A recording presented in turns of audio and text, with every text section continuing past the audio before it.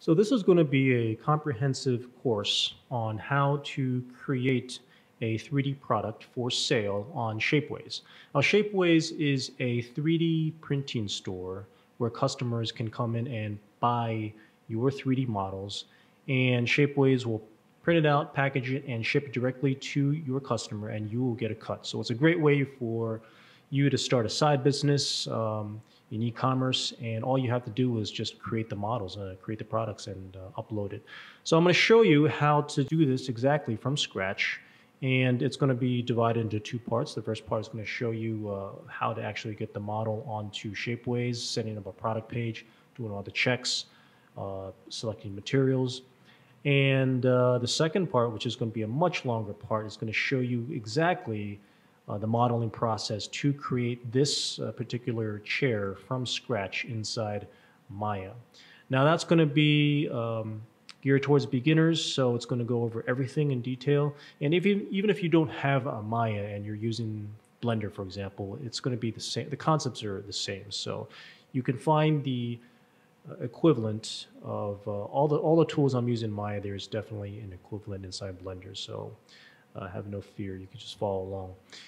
All right, so let's get started.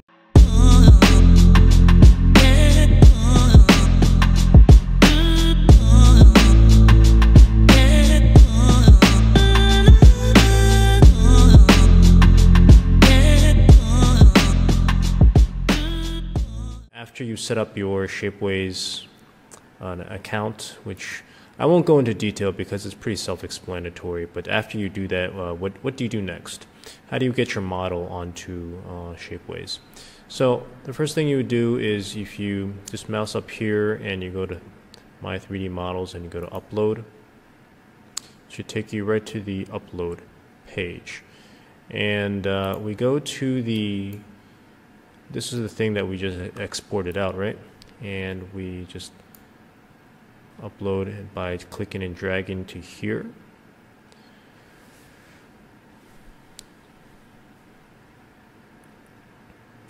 And it automatically analyzes it and then it should pop up here in a few moments. So let's wait.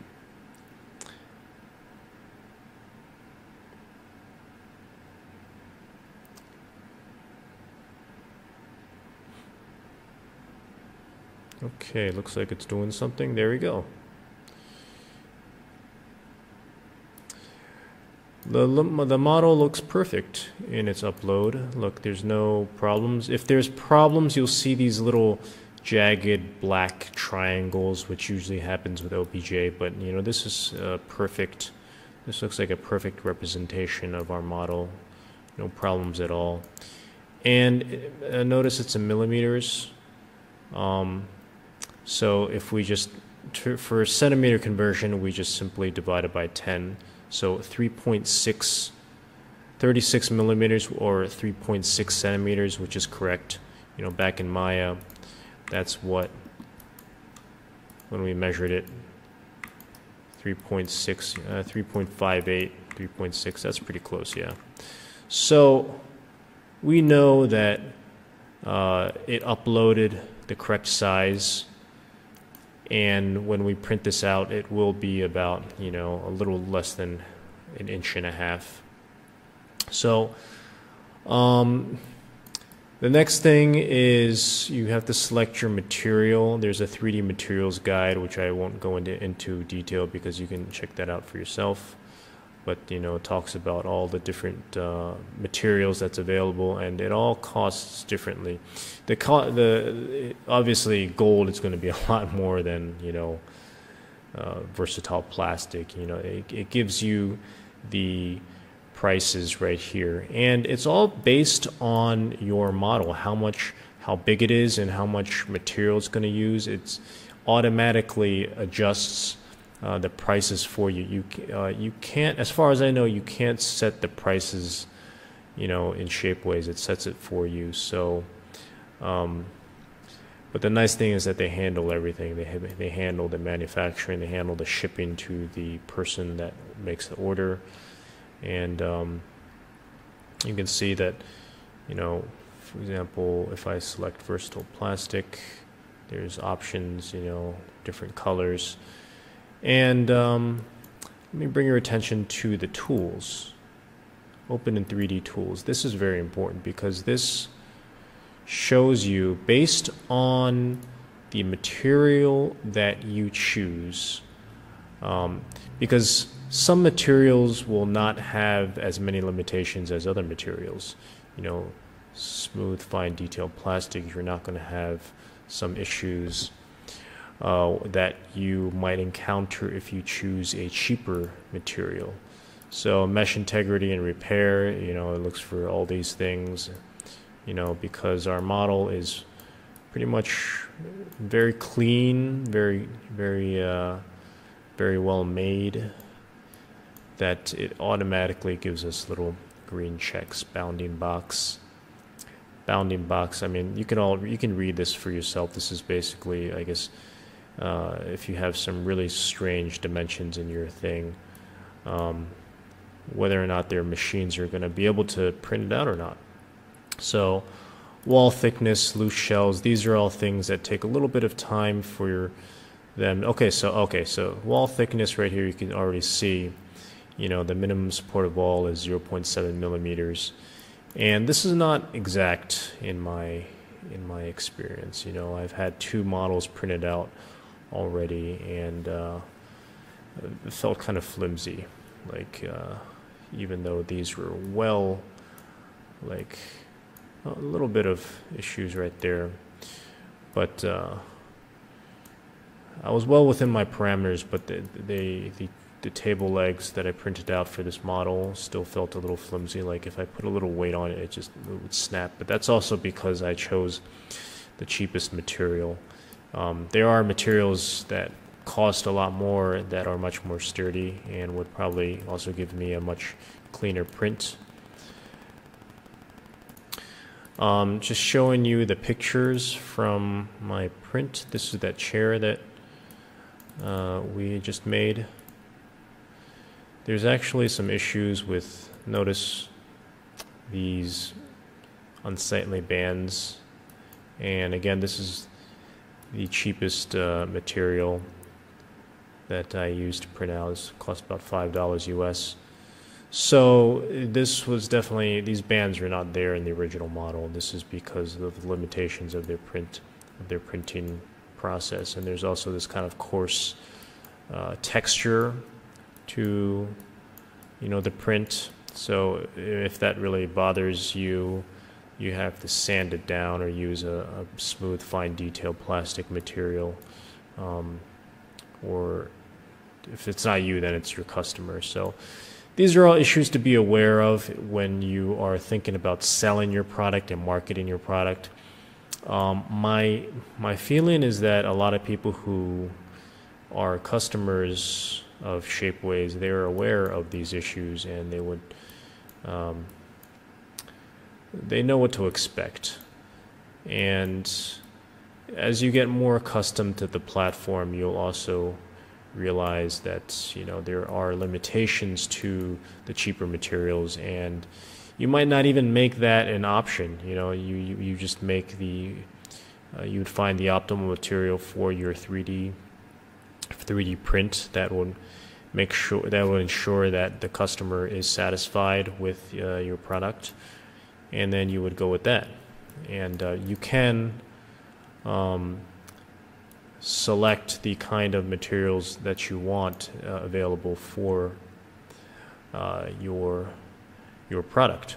So um, I'm not going to wait for this to finish because sometimes it takes a while. I'm pretty confident that this is okay though.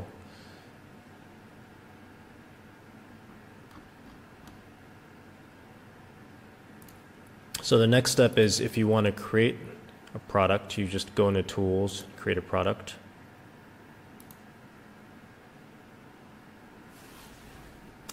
And this is where you give the name and description, um, category. It's all really self-explanatory. Uh, like this is like miniatures, interior models, um, tags, choose scale. This is 124 scale, style, modern, furniture, scene, living room. And you can add variants. Size, choice, small.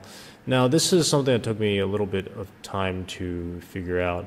Like, if you have a different variant, you have to, for example, if you have a 112 scale of your chair, you have to upload that model um, here as well, and then you could select.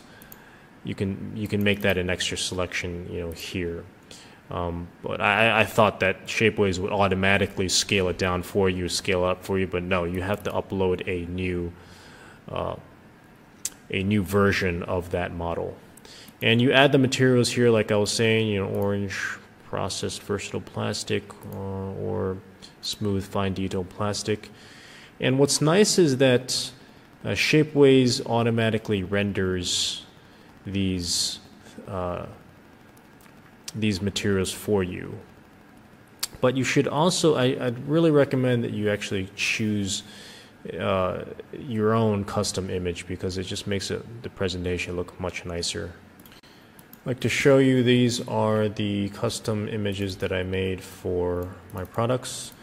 Um, I used V-Ray as the renderer and I put a standard paperclip here as the uh, for scale but and also put like stuff like this 124 scale. Um, this was one of my other products that I had fun making a little cutlery mini cutlery set printed out like this.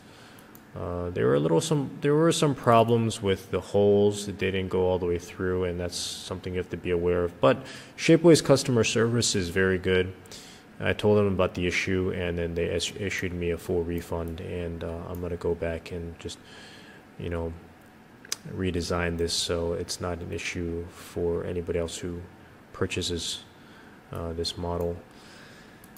And um, I would say also that sometimes renders are not even enough to get a customer interested. You you need to. I I really recommend that you print out, you know, products that you really believe in for yourself, just so you can take better pictures and you can also you know uh, test uh, to see if the print was successful with the selected material.